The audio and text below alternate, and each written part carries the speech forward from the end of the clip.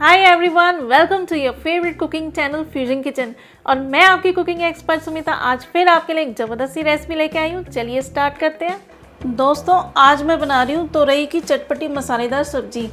सबसे पहले आप टू टेबल स्पून ऑयल ले लें फ्लेम ऑन कर देते हैं।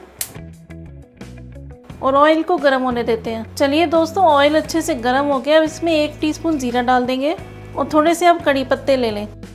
इन दोनों को भुनने देते हैं पहले। चलिए दोस्तों, जीरा और कड़ी पत्ता भुन गया। अब इसमें वन टेबलस्पून कुटा हुआ अदरक और लहसुन डालना है। एक मिनट के करीब इनको भून लेते हैं, ताकि अदरक लहसुन का कच्चापन ख़त्म हो जाए।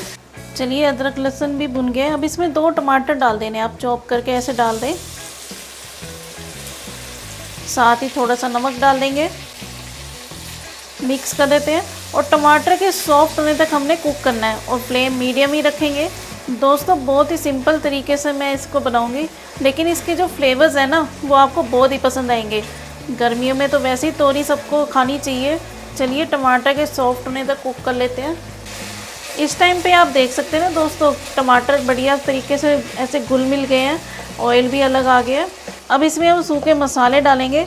हाफ़ टी स्पून हल्दी powder one teaspoon red chilli powder one teaspoon इसमें डालेंगे सौंफ इससे बहुत ही ज़बरदस्त फ्लेवर आएगा। तोरी में आपने पहले नहीं डाल के अगर खाई सौंफ तो आप ऐसे बनाएँ।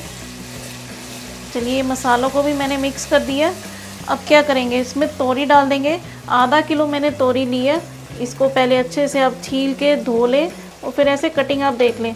लेंथ वाइज कट करके ना जस्ट आधी आधी मैंने करी है और थिकनेस इसकी आधी इंची है। ये आप देखिए। ऐसे आप काट लें। चलिए इसको भी अच्छे से मिक्स कर लेना है और फ्लेम आपने हाई रखनी है। और इसको अब कुक करेंगे करीब आठ मिनट के लिए।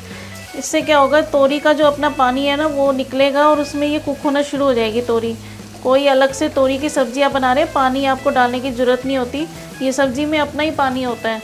चलिए इसको कुक होने देते हैं। इस टाइम पे आप देखिए दोस्तों, तोरी काफ़ी सॉफ्ट हो गई है और अच्छे से ये मसाले के साथ कुक हो गई है। अभी हम क्या करेंगे दो खाने के चम्मच इसमें दही डालनी है। अच्छे से आप फेंट के डाल दें। खट्टी नहीं लेनी आपने, अलग से खट्टी करके अपना यूज़ करें, फिर टेस्ट अच्छा नहीं आएगा। अब इसमें टेस्ट के अकॉर्डिंग नमक डालेंगे। और फ्लेम मीडियम ही रखनी है आपने।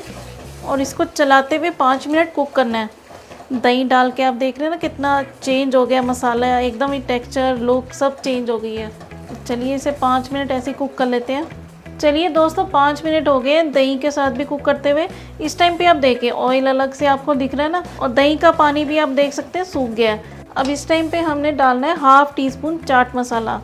इससे थोड़ा टेस्ट एकदम चटपटा सा हो जाएगा, और दो हरी मिर्ची डाल देंगे रफली ऐसे तोड़ के, और थोड़ा हरा धनिया डाल देंगे। बस फ्लेम हमने ऑफ़ कर देनी है, क्योंकि ये सब्ज़ी बनकर एकदम तैयार हो गई है।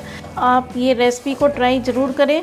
आप इसको चावल के साथ, रोटी के साथ कैसे भी खाएँ, आपको बहुत ही पसंद आएगी। फ्लेवर्स आपको इतने अच्छे लगेंगे इसके, और बनाने में भी बहुत ही सिंपल है। चलिए फिर मिलेंगे नई वीडियो में। Bye bye